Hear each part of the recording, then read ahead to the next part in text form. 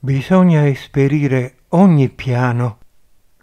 Punto F attraverso Francesca R. 12 novembre 2023.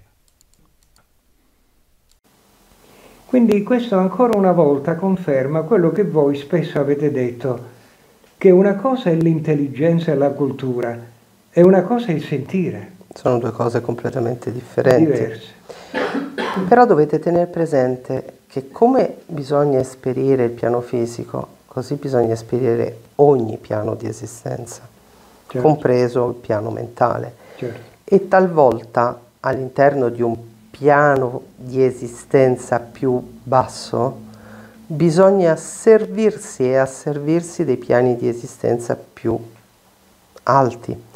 Quindi il piano mentale è sicuramente più elevato del piano fisico e se serve passare attraverso una razionalità è, è utile.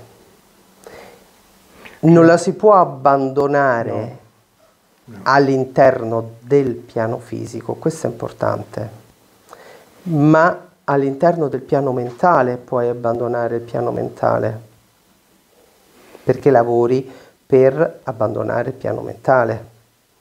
Qui voi lavorate per non aver più necessità del piano fisico.